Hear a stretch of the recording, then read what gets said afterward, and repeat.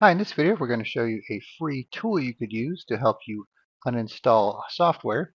So it's called O&O AppBuster. So I'll show you how it works here. Alright, so there's nothing to install. You just download the executable and run it, which I have running here. So you can see here we have 78 apps, 57 hidden, and 11 that cannot be installed. And up here at the top, you could decide what you want to have shown. So then you'll see the number change as I select more. So if I add system apps, now there's 122. And if I add framework apps, 135. So it's a little hard to narrow down. So what you really need to do is, let's say you want to see all the system apps. Best bet is just to come here and uncheck the other ones. And now you just have your system apps. And you can see here that these are just for informational purposes and they're unremovable just to show you what you have installed here. And the same for the framework apps, like so. And there's this one here, which is installable because I uninstalled it and it was the type of app that you could actually have it reinstall once you uninstall it. All right, so let's go back to the default settings here. All right, then if we go to the Windows settings under apps, you can see we have 47 apps, so there's a lot more showing here, 78 just for the desktop apps and Windows apps. And of course, you could come here, hide apps from Microsoft, and that'll narrow down your list here. So now we just have desktop apps here instead of Microsoft apps.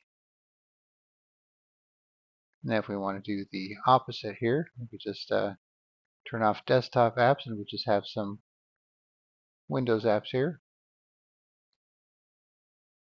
And we can uncheck that to show some of the uh, default ones.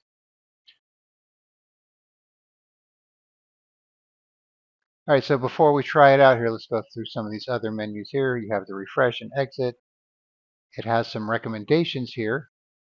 So these are recommended for removal and these are optional for removal. So if you check this here, it'll check the boxes for all the ones that are recommended. And just come up here and clear it.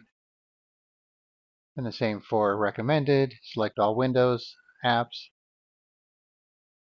Just do it like that.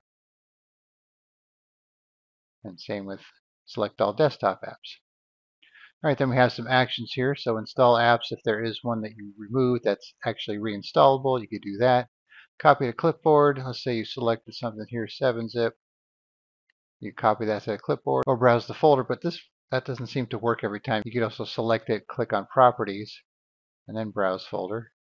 That seems to work better. Not sure why that doesn't work all the time, but it might work for you.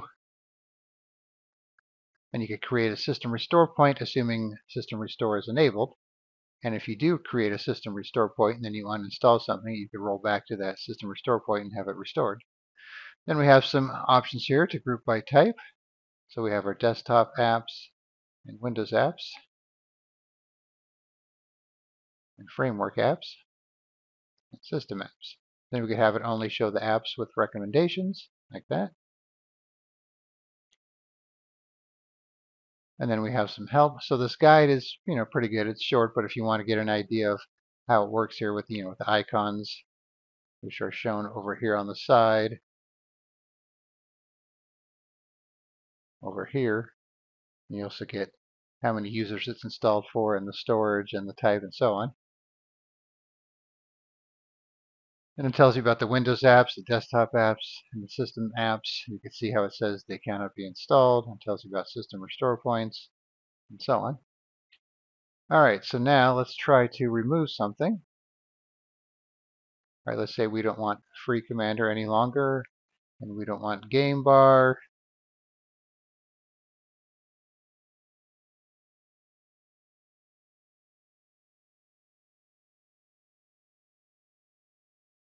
And we don't want solitaire. So we have four selected. So we just click on remove. So some of these are Windows apps, and then we have the one desktop app. So we'll see what happens here.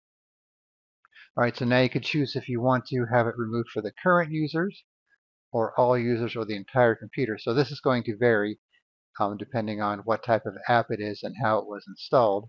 So you might not have the option for all users. if It was just installed for one user and that type of thing.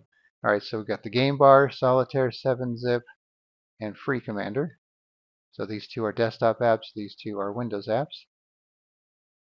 And we'll just do it for current users just for the sake of fun here. You can see it launches the uninstaller here. Same for 7-zip. Alright, so now those are gone, and that does a rescan. Alright, so now if we uncheck desktop and Windows and show installable Windows apps, you can see that we have News and Solitaire and the game bar are now able to be reinstalled if we want to do that. And then we could also remove them permanently. So like I said, this will vary depending on what type of app you're doing this for.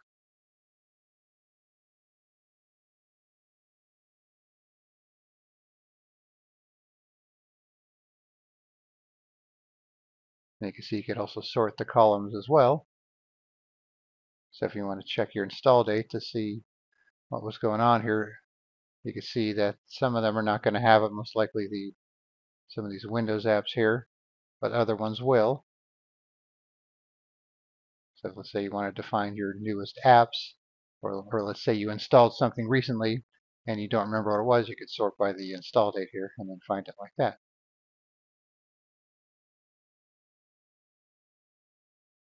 All right, so as you can see, it's a nice little tool if you want to uninstall a bunch of things at once or view some other options that the Windows settings is not going to show you under the apps. And then also if you want to maybe reinstall something after you remove it. All right, so I'll put a link in the description where you could download O&O AppBuster and you could try it out for yourself. All right, thanks for watching and be sure to subscribe.